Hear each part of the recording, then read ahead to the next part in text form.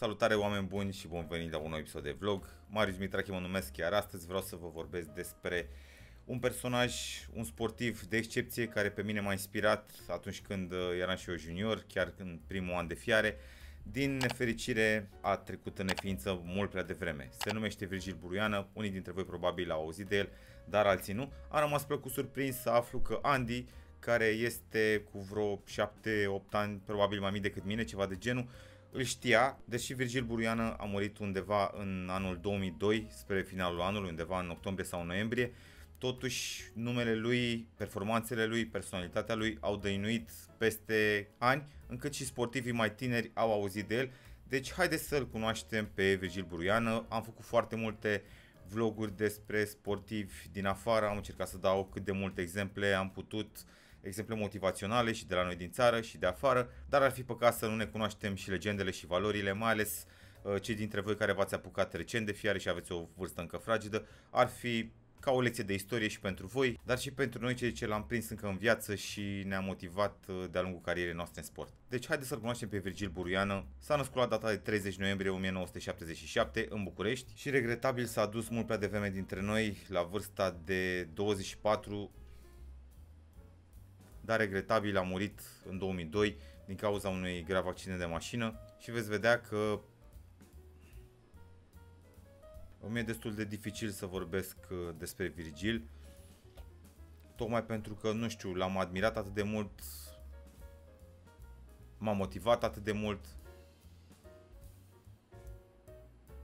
încât mi se pare cumva un subiect sacru, un subiect tabu. Mă simt, uh, nu știu, simt cumva că nu merit să vorbesc eu despre el. Mă simt cumva ca un impostor doar că deschid subiectul, dar uh, în altă ordine de idei. Clar, nu sunt eu cel mai în măsură să vorbesc despre el, pentru că l-am văzut o singură dată și o să vă povestesc imediat în ce circunstanțe s-a întâmplat uh, chestia asta. Dar, deși există în viață foarte multe persoane care l-au cunoscut, s-au antrenat împreună, au activat probabil la același club sau măcar au frecventat aceleași săli, totuși nimeni nu are expunerea mea și prezența mea în online, așa că poate din unele puncte de vedere nu sunt cea mai îndreptățită persoană să facă acest video, dar din altă ordine de idei, probabil sunt cel mai îndreptățit dintre cei ce fac vloguri în momentul de față. Acest gen de video istoric e cumva chiar pe strada mea. Voi veți vedea în momentul de față pe ecran palmaresul lui Virgil, din care am să vă citesc. Campion național categoria 75 de kilograme juniori. Înainte de toate, haideți să vedem exact uh, niște dimensiuni cunoscute ale lui. Știm că avea înălțimea de 1,67 cm, un pic mai înalt ca mine, cu 1 cm, deci tot prin zona asta. Greutatea lui este trecută la 90 de kg pentru că a concurat mai mulți ani la categoria de 90 de kg, dar am citit acum ceva timp într-o revistă că mergea în off-season 102-104 kg. Aceste date nu știu cât sunt de exacte, dar după cum veți vedea arăta ca și cum ar fi avut uh, această greutate. Cel mai probabil a și avut-o. Brațe de peste 50 de centimetri, o să găsiți cifre și de 51-52 de centimetri, ceea ce este foarte plauzibil. Nu cred că s-a exagerat absolut deloc când vine vorba de așa ceva. Haideți să trecem la palmares. Avem la 18 ani, în 1995, campion național la categoria 75 de kg, concurează în același an la seniori și ia medalie de bronz, deci primul, prima participare la naționale, ia medalie de bronz. Oameni buni, în vremea aia să câștigi campionatele zonale, era destul de dificil. Era cam ce vedeți la naționale, poate și mai rău. Eu personal am văzut primul meu concurs uh, de culturism live în 2003. Bine, mult mai târziu decât a participat Virgil, existau peste 10 sportivi la zonale, unde zonale în momentul de față abia dacă se mai țin, câteodată se țin, câteodată nu se țin și atunci sunt 1-2 sportivi pe categorie, 3 la mens fizic și la bikini sunt mai mulți. Deci ce vreau să subliniez este faptul că au existat niște vremuri în care să ieși campion zonal uh, era foarte important. Erau 5 sau 6 zone în România și era ca un fel de titlu de campion național. Dacă ieșeai campion zonal, erau oameni care se pregăteau doar pentru zonale. Dacă ieșeai campion național, deja chestia asta însemna enorm. Iar să ieși uh, din țară, să mergi la internaționale, să mergi la balcanice, europene, mondiale și să vii cu rezultate de acolo, era, nu știu, probabil echivalentul a Jocurilor Olimpice. Era ceva extraordinar. Deci vreau să țineți cont de lucrurile astea pentru că în momentul de față s-au diluat foarte mult lucrurile, au apărut mult mai multe categorii. În anii ei exista doar culturism masculin, culturism feminin, diverse categorii de vârstă și de greutate. nu exista fitness masculin, care a fost următoarea categorie, nu exista men's fizic, nu exista classic fizic, nu exista figure la femei, bikini, a apărut wellness de curând și vor mai apărea și alte categorii, sunt convins de chestia asta, doar că vreau să țineți cont de dificultatea de a câștiga un titlu de campion zonal sau de campion național. Și Virgil, la prima lui participare, să ia la seniori, oameni care făceau chestia asta cu foarte mulți ani înaintea lui. De exemplu, eu am 37 de ani el ar fi avut 18. Gândiți-vă că a bătut foarte mulți oameni care aveau probabil ani de fiare câți avea el de viață. Asta înseamnă un talent extraordinar. Deci, medalie de bronz la prima participare la 18 ani la seniori. Un an mai târziu câștigă categoria 80 de kg la juniori, locul 2 la seniori. 1997, locul 1 la plus 80 juniori la campionatul național, locul 2 la seniori. Anul următor câștigă iar junior la categoria 80, și este și campion mondial, oameni buni. Deci când înseamnă campionate naționale, când înseamnă campionate mondiale. Și în același an, deși a câștigat campionatele mondiale de juniori, ia titlul de vicecampion național la seniori. Vă întrebați probabil cum vine chestia asta? Păi vine destul de simplu. El la juniori a reușit să vină în 80 de kg, dar categoria de seniori era de 90 de kg. Așa că a trebuit să fie sub 80 undeva la 79 probabil, a avut 79 jumate, probabil s-a chinuit să facă categoria, dar la seniori au venit uh, oameni cu greutate mai mare și totuși pe la urmă l-a bătut unul singur. Deci încă era junior și a pierdut în fața unui singur senior. Explicația din punctul meu de vedere, excluzând faptul că pot exista uh, erori de arbitraj, este faptul că este greu să menții sau să prinzi mai multe vârfuri. Nu știu ce diferență a fost între mondiale și între campionatul național de seniori, poate au fost înainte. Eu din ce știu, campionatele naționale de seniori sunt undeva în septembrie, iar mondiale sunt undeva prin noiembrie, chiar și decembrie. Așa că se poate să nu fi venit în formă maximă la senior tocmai ca să câștige mondialele. Nu știu în ce ordine a fost, dar există circumstanțe atenuante. Mergem mai departe în 1999, câștigă de data asta titlul de campion național la seniori categoria 80 de kg și concurează și la seniori la campionatele europene unde ia locul 7. Ce vreau să vă spun este că din cultura mea generală în ceea ce privește culturismul, la categoria de culturism seniori, deci nu vorbim mens fizic, clasic și așa mai departe, vorbim strict de culturism, vorbim strict de seniori, nu juniori, nu masters unde există mult mai mulți campioni mondiali, mult mai multe titluri, campioni europeni și așa mai departe. Acolo s-au adus rezultate, dar când vine vorba de campionate europene sau mondiale de seniori, sunt foarte puține rezultate și locul uh, 7 la acel campionat european luat uh, de cineva care avea în anul ăla 21-22 de ani este ceva senzațional. Văd că are o pauză competițională în anul 2000, dar revine și câștigă campionatul național de seniori la categoria 90 de kg în 2001 și și apără titlul în 2002. Eu totuși îmi amintesc că în 2002 a pierdut în fața lui Alexa Angelo, care a fost și probabil încă mai este legitimat, nici nu știu dacă este adevărat lucrul ăsta în continuare, la noi la Farul Constanța. Știu că a mai fost cupa Pro Nutrition, au mai fost niște cupe, a fost un dute vino între ei, dacă mi-aduc eu bine aminte, poate nu mi-aduc bine de tot aminte, dar gândiți-vă că aceste date se găseau doar prin reviste și eu nu prea mai am revistele din perioada aia. Dacă mă înșel după ce voi face alt research, mă voi corecta pe ecran, dacă nu, și voi știți altceva, vă rog să lăsați în secțiunea de comentarii. Iar în 2002, ultimul concurs la care a participat, locul 10 la seniori, la campionatul mondial la categoria 80 de kg. Deci ăsta este palmaresul lui Virgil, un palmares excepțional, mai ales având în vedere vârsta la care l-a și obținut. Da, deci undeva cred că s-a efectuat o greșeală, pentru că l-am admirat atât de mult pe Virgil, deși nu reușesc să țin minte neapărat locuri, nume și cifre, Știam sigur că a murit la 24 de ani și am căutat acum și după unele resurse e născut în 77, după altele în 78. Eu personal sunt mai mult decât convins că e născut în 78 și o sursă s-a luat după o altă sursă, care s-a luat după o altă sursă și o să găsiți peste tot 1977, dar cel mai probabil a fost născut în 1978. Despre mine știți că m-am apucat de fiare în toamna anului 2001 și Virgil a murit în 2002, undeva în uh, noiembrie parcă, deci aveam un an și un pic de fiare când Virgil din păcate a trecut în neființă. Am avut norocul și privilegiul să reușesc să-l văd live în cadrul unei demonstrații. V-am spus în nenumărate rânduri că sunt fan Scandenberg și că am fost la competiții de Scandenberg de 19 ani. Ei bine, prima și prima dată am văzut o competiție de Scandenberg pe care era să o ratez la mustață. Era să nu mă trezesc în dimineața aia, mi-a fost lene, era departe, nu știam să ajung, nu aveam nici bani, trebuia să mă întâlnesc cu niște prieteni cu care să mergem. Era complicat, foarte complicat și totuși mi-am luat inima în dinți. Eu odată ce m-am trezit nu mai pot să mai dorm și cu Chiu cu Vai m-am întâlnit cu ei, am mers la competiție și spre surprinderea mea am văzut acolo o plajă enormă de geneticuri. Am văzut de la juniori, la masters, nu concurau. Pur și simplu era foarte cald, toată lumea în maiouri, în tricouri și nu venea să cred. Eu abia aveam un an de fiare, eram super începător și super entuziasmat. Entuziasmat sunt și acum, după cum uh, probabil se simte în tonul vocii mele de fiecare dată când vorbesc despre culturism. Dar atunci nu știam ce știu acum și priveam totul prin ochii novicelui, ochii începătorului. Și am văzut acolo halterofile, am văzut sportivi care se pregăteau doar pentru Scandenberg. În fine, una peste alta era extrem de cald, majoritatea ne-am despuiat pe acolo, nu existau umbrele, nu exista nimic, era în aer liber. Teatru de vară, nu mai știu de unde, uh, Florin Oceanu, Alexandru Costache, Irina Muntean, dacă mi-aduc eu bine aminte, și Virgil Buruiană, cred că ei patru au făcut în ziua respectivă o demonstrație de culturism în cadrul acelui concurs de Scandenberg.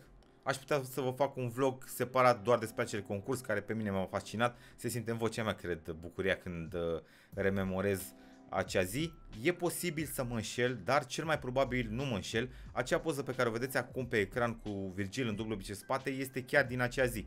Și eu sunt un om, am fost un copil, un om, un adolescent introvertit. Și totuși în ziua aia am făcut ceva ce nu-mi stă în caracter sub nicio formă. Mi-aduc aminte că Virgil tot poza și mie, la vremea aia, mi se părea că nu pozează coapsele. Și am strigat, și coapsele? Nu vine să cred că am făcut așa ceva cu mintea, dar acum n-aș face niciodată ce am făcut acum. Bineînțeles, nu era sub nicio formă vreun atac, trolling sau ceva asemănător, pur și simplu. Vreau să văd coapsele cum arată încordate.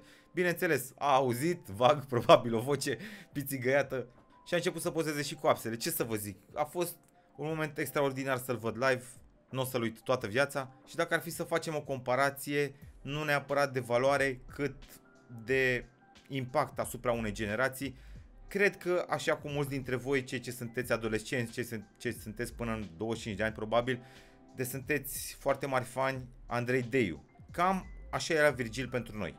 Consider că era cel mai popular, probabil cel mai titrat la vremea respectivă, apărea în tot felul de emisiuni și îmi pare rău că am reușit să-l văd o singură dată, dar mă mulțumesc cu faptul că l-am văzut măcar o dată față de alții care n-au avut uh, norocul, deși ironia face că frecventa unul dintre puținele magazine de suplimente care se afla chiar lângă liceul meu. Eu am învățat în liceul Mircea Eliade din regie, iar IDM-ul, unde acum există o sală de fitness și se joacă biliard, uh, ping-pong și alte chestii, era un angro. Un angro unde existau două parcă, două, da, Două? Două magazine de suplimente. Și toată lumea cam venea acolo să-și facă proviziile de suplimente. El avea și o colaborare cu cei de la Redis în uh, vremea respectivă. Și deci ar fi existat foarte multe șanse ca noi să ne vedem live în tot anul ăla. Dar nu am reușit să-l văd live decât la acea demonstrație. În pregătire pentru acest vlog am frunzărit una dintre paginile virtuale ale istoriei culturismului românesc și anume forumul Top Culturism despre care v-am mai vorbit. Citind acel forum care în momentul de față este la standard de muzeu, am văzut comentul lui Odin Laszlo Kovac, care zicea mă ia cu părere de rău când îl văd, mai ales când îl văd așa mai trist. La concursurile de la Unești am ieșit pe doi în spatele lui, chiar mă întreba în ce categorie face, speram că a crescut în greutate de la naționale, dar între timp și Laszlo Kovac a murit, deci două tragedii. Am dat și peste comentariul lui Andrei Gogoașă. Asta nu e sala de la Metrorex, ba da. O ședință foto a lui Virgil este chiar în sala de la Metrorex, unde ați văzut o grămadă de vloguri cu mine, cu Velea, cu restul băieților din drum. Deci aceeași sală, acolo s-a antrenat și el. Am respirat cumva același aer și ne-am antrenat pe același fiare pentru că aceea sală este neschimbată, este o pagină de istorie și acum, cu ocazia acestui vlog, Cred că înțelegeți un pic mai bine nostalgia noastră și faptul că pentru mine personal sala aia este ceva sacru. Călcăm pe urmele giganților când mergem în acea sală și răspunde Dan Cristian, pe care le știți, între timp Dan Cristian a ajuns să-și ia cardul de profesionist, avem foarte puțin culturiști profesioniști în România, el este unul dintre ei și este în pregătire pentru categoria 212. Sper să se califice la Olimpia, sper să se claseze cât mai bine, sper să câștige, sper să-și împlinească toate visele. Andrei Gogoașă iar este un prieten care a crescut ca și Dan în aceeași sală de la Metro X, a concurat, a ieșit campion național, chiar bătându-l pe Dan la un moment dat. I-am însoțit pe ambii la campionatul național, chiar din acel an, din 2009, care s-a ținut pe la Târgu Neamț, dacă nu mă înșel. Deci comentul este din 15 a 11 a 2009, probabil la câteva săptămâni după ce Gogoașă îl învinsese pe Dan. M-au trecut fioriși și când am văzut comentariul lui Viorel Ristea despre care probabil la un moment dat, dacă mi se va cere, deși mi-e greu să fac aceste genuri de videouri, am să fac un video pentru că merită, trebuie să-l știți și pe el. A fost o mare valoare a culturismului românesc și din păcate și el a trecut în neființă foarte rapid. Și când văd acel coment la postul despre Virgil, odihnească-se în pace, știind că patru ani mai târziu și el a murit, nu știu, mă cutremur pur și simplu. Virgil nu doar că arăta bine, dar era și foarte puternic, am să vă citesc din recordurile lui personale. Avem un pin sculcat la 180 de kg, 3 repetări, avem genuflexiuni până jos, 3 repetări la 280 de kg, avem semi la 300, tot 3 repetări, îndreptări 240, 3 repetări. După cum vedeți, nu cobora sub 3 repetări. Virgil era pachet complet, din punctul meu de vedere, nu avea grupe slabe. Avea gambe, avea femurali, talie mică, deschidere a spatelui extraordinară, foarte estetic, foarte plin, rotund, globulos, avea tot ce trebuie. Ca să vă dați seama cât de înzestrat genetic era, aveți o poză aici cu Virgil de la 16 ani, iar în poza asta Virgil are 20 de ani, unde tocmai ieșise campion mondial la categoria 80 de kg la juniori. Deci, gândiți-vă că avea sub 80 de kg în poza asta. Este enorm. Dacă v-ar fi spus cineva că avea 100, probabil ați fi crezut fără nicio problemă. Dacă nu mă înșel și probabil nu mă înșel în poza de pe ecran, avea doar 18 ani. N-am fost niciodată mai fanboy decât am fost pentru Virgil Buruiană. Mie personal, când mă uit la pozele lui, eu unul nu reușesc să găsesc niciun defect. Mi se pare că avea tot, mi se pare că nu-i lipsea nimic și faptul că s-a dus atât de devreme dintre noi este o nedreptate pentru el, pentru familia lui, pentru noi cei ce am fost contemporani și pentru toată lumea care n-a reușit să îl cunoască. Vă rog să puneți pauză și să citiți poezia de pe ecran. Este scrisă de Tiberiu Apostol, a fost, dacă nu mă înșel, secretar al Federației timp de foarte mulți ani. Eu când concuram, el era parcă secretar al Federației și dacă nu mă înșel, a murit în trecutul recent, nu mai țin minte exact, dar și el a trecut în neființă, deci foarte multe persoane din culturismul românesc ne-au părăsit. Eu personal am încercat întotdeauna să privesc lucrurile în perspectivă și în momentul în care văd pe cineva ca Virgil atât de muncitor și de dotat genetic și cu un palmares atât de impresionant, reușesc să-mi iau porția zilnică nu doar de motivație și de inspirație, dar și de modestie. Când privești la oameni de genul ăsta, înveți să fii puțin mai umil. Înveți să realizezi că realizările tale nu sunt chiar atât de mari. Înveți să vezi schema mare a lucrurilor, iar chestiile astea te fac să rămâi cu piciorul pe accelerație și să nu fii autosuficient. A fost pe nenumărate coperți ale revistei Culturism, iar dacă vă interesează o pagină din istoria culturismului, am să vă rog să intrați pe forumul Top Culturism, puteți intra la profile personale și o să găsiți acolo culturiști care au concurat, o să vedeți progresul lor de-a lungul timpului, ce făceau, cum mâncau, cum se antrenau, discuții. E un subiect inepuizabil. Puteți intra și la secțiunea de culturiști români din toate timpurile, să vedeți legendele culturismului românesc cu pozele pe care probabil le găsiți cam doar acolo, rezultate, date antropometrice, discuții despre ei, mici povestiri și dacă nu mă înșel, site-ul Redis e posibil încă să mai comercializeze CD-uri sau DVD-uri cu toate revistele, deci tot istoricul culturismului românesc uh, de prin anii 90 și ceva, de când a început să apară, de era alb-negru. Așa că amatorilor de istorie tocmai v-am oferit niște unelte și până nu se vor scumpi, cred că o să găsiți pe OLX colecții de reviste, așa că v-am dat de lucru.